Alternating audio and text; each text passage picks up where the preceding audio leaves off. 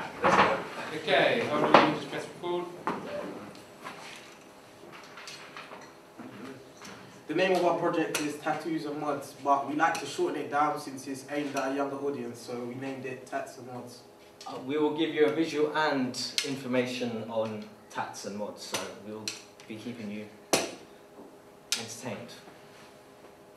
What So- is tat- What is tats and mods? There's different types of modifications to the body. The most extreme types is um, scarification, where they'll scar your body and then wait for it to heal, and then there's a pattern out of the body. A tattoo is a form of body modification where ink is inserted into the skin, and um, usually this will cause an open wound to um, appear, and this can be infected, so you have to take good care of it, and its ultimate healing time is about six months. So where did tattoos originate from? Tattoos originate back to the second millennium, around about the Egyptian times, and also it carried on through the tribal times as well, the African tribal times. Tribals, um, people used tattoos um, in ancient, like in ancient times to use it as a form of um, mask. So when they were hunting prey or something, it'd be used to show um, like their kind of tribal clan and um, kind of disguise themselves. Um, it's also been used as a sense of identification. Um, it's been used to um, it's been used in the Holocaust um, and prison inmates and give, to give them a sense of identity and not a good sense of identity, but literally objectifying um, people to a number.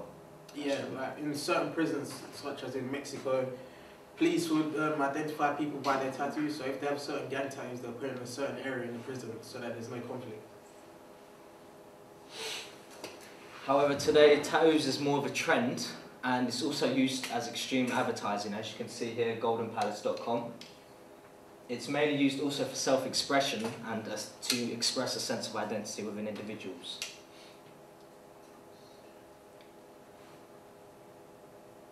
Why we chose tats and mods? Statistics show that there's been a massive interest in tattoos, especially among Western areas, as one out of five Brits now are inked. There's a total of up to 14% Brits who have at least one tattoo, and majority of these are um, ages 26 to 40. We would think it'd be 18 to 25, but that's that's the that's what's interesting about our interviews. Yeah.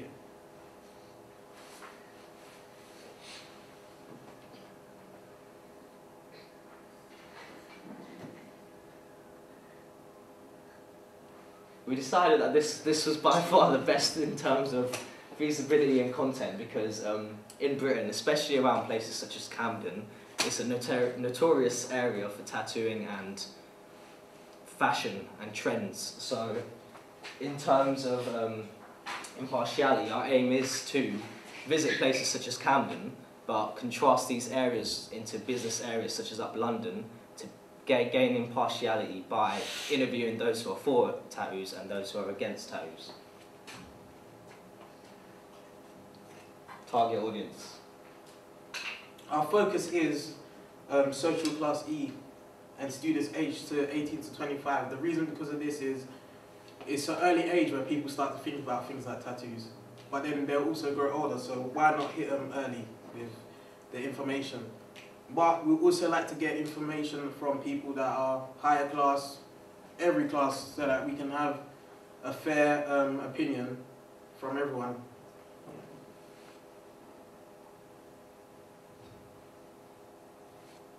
Um, types of questions we'll ask in interviews. Um, our main concept we're going to try and discover is how tattooing um, affects employability in the future and um, how, and mainly, mainly the reasons why people get tattoos.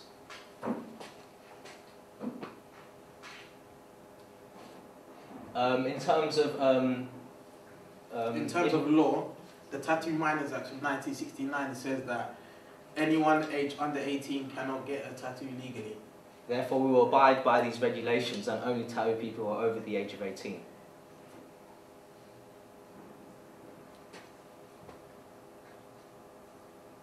So as I said before, the main concept behind tattoos is to see why people get tattoos and job um, perspectives, prospects. Only also that we will inform our audience with the pros and cons of tattoos, such as infection and diseases. Um, the good thing about um, tattoos is there are already lots of content out there that we can gain influence from, so we can use um, secondary research from other types of um, documentaries and use archive footage and gain it to our own documentary. SWOT analysis.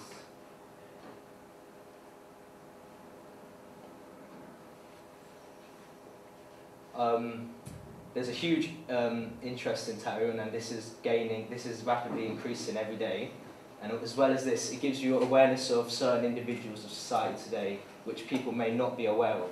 And as I said before, um, London is a common place where people will be found with tattoos, so we live close to London, so in feasibility wise, it's possible. One of our weaknesses is that it may sway young people into like the wrong direction. Like we don't want to give off a bad influence through um, our pitch, uh, through our documentary, and also our archive footage may be disturbing to older audiences. So that we might tone it down a little bit and not show everything. Might censor as well. Um, opportunities. Um, opportunities is it will it could possibly um, make people think twice about tattoos and inform them with um, if they should really get one at certain types of ages, as well as that um, it will uh, allow them to kind of gain um, almost friendships with other people with tattoos and allows them to have a self a sense of um, being part of like a social group with people with tattoos. One threat is trying to get permission from people in the public, especially when you're dealing with older people. Since we're young, they might they might not be too too weary around us, so it'll be hard to get permission from the older generation. So yeah. Psychographics. Um, our main target audience will be mainstreamers because it's such a big trend today that um, many people you see on the streets today will possibly have one tattoos due to its um, popularity amongst the internet and the media today. But aspirers are the most influenced due to this. Because of celebrities and because of people in the media, people, especially young people, are influenced to get tattoos and modifications just because they have. However, it will not really interest any performers because um, it's not natural at all and it is open to infection, therefore it won't really interest any performers.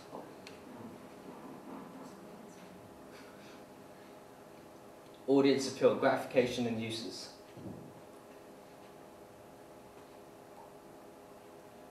Um, our research will provide useful statistics and facts about tattooing, including the pros and cons. However, and, and how it might affect judgments and in terms of em- employment. Um, as you can see here, there's a news article with a man who ended up getting a tattoo on his face, who quotes, I am devastated, and he added that he could no longer contemplate looking for employment. We will discuss this further in our documentary. Yeah, that's one of the main points within our documentary is being marked for life. Is it possible to get removed or not?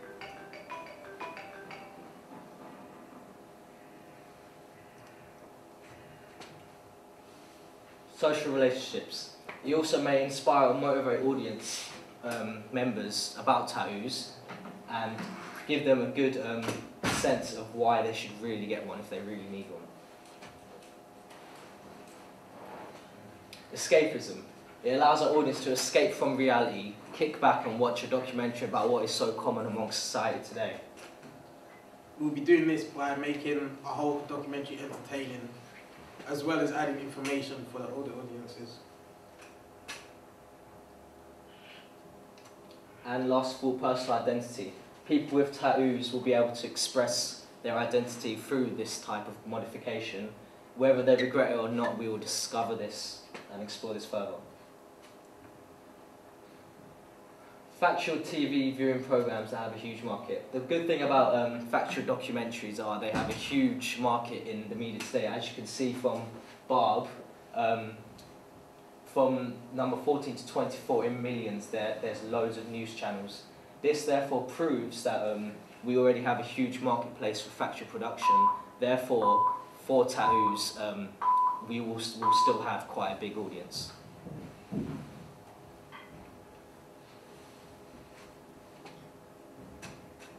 When it comes to other um, tattoo programs within the industry, there's shows like such as London Ink, and that has already a huge following around the internet, such as um, a million views on almost each of the videos. So that gives us um, a head start in knowing what, um, how much of our audience would view our our documentary. And interesting enough, even the demographics from YouTube also suggest that um, majority of um, people with tattoos are aged from 13 to 17, which is interesting, as well as 25 to 44. And also online there are loads and loads of reviews of um, tattoo programs and documentaries. Therefore this shows that people are interested and people will watch our documentary.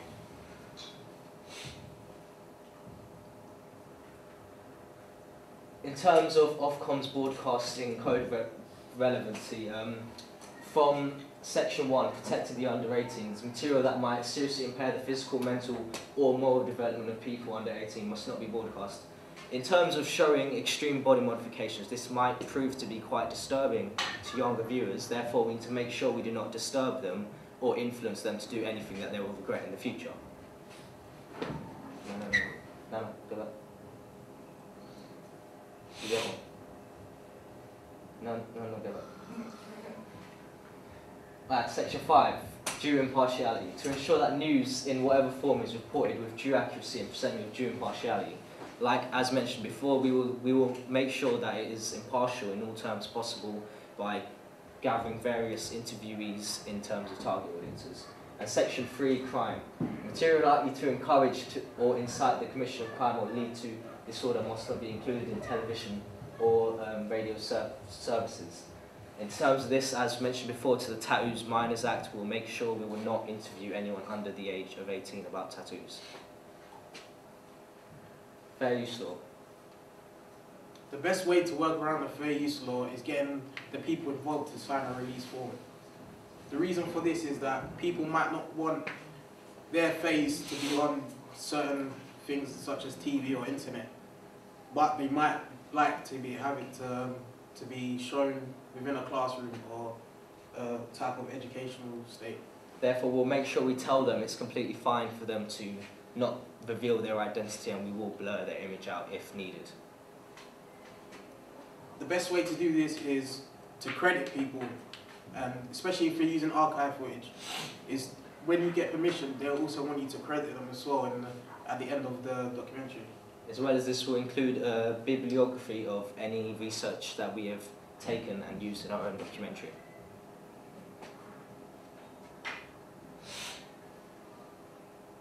Constraints. Um, our main constraints are wandering around the streets of Camden, simply getting rejected for interviews by people who are busy. So this will be the main problem with on-screen film. However, the, due to the amount of areas in Camden, we, we have we reckon we won't have that won't be much of a big of a problem because there's so many people we can try and interview.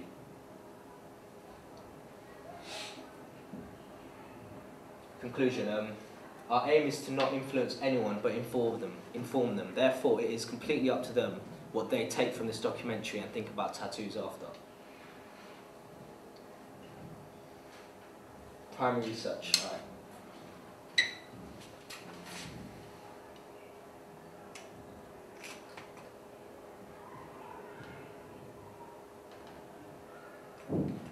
Here is primary research we conducted in the studio. Make it a bit big.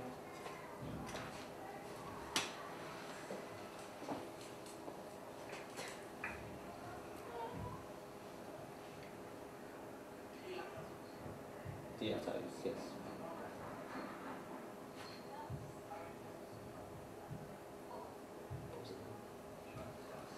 Instantly, from the first five seconds or so, we can tell that we have used loads of closed questions. So one thing we have gathered from this is to use open questions that do not involve one-worded answers. As well as this, you can clearly see the lighting and everything isn't as professional as it could be. So we need to make sure if we do do any interviews in the studio that we use three-point lighting and make sure everything looks perfect.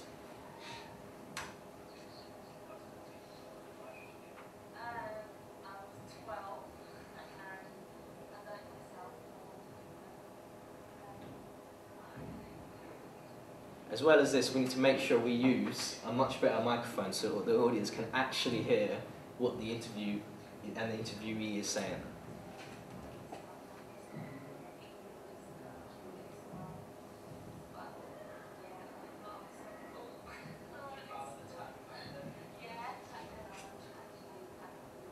And also, we, we, was, was thinking of using more than one camera, so it's not just a stationary camera to keep the audience more attached to the screen. Should we stop it there? Also, another thing, another technique that we'll be using is a lot of cuts because to prevent the use of private conversations and the um, audience not understanding what we're talking about, we'll use cuts. Yeah.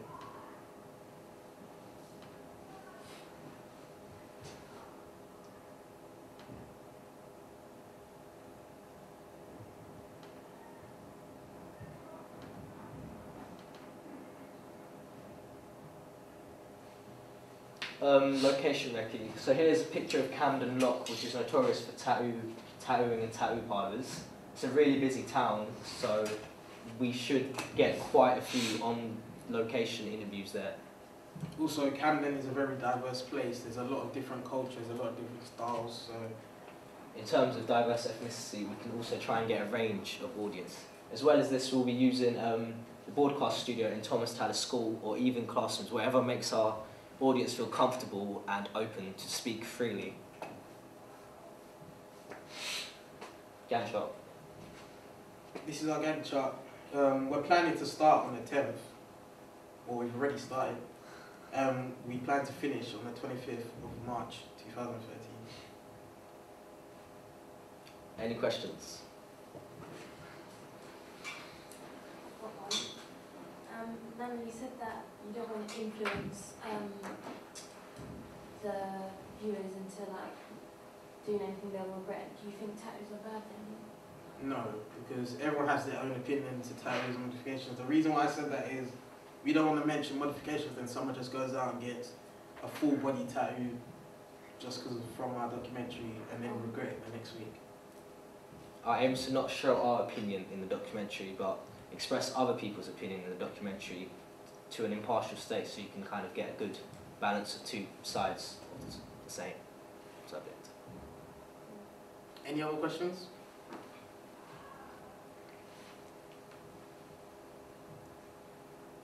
Thank you for listening, guys.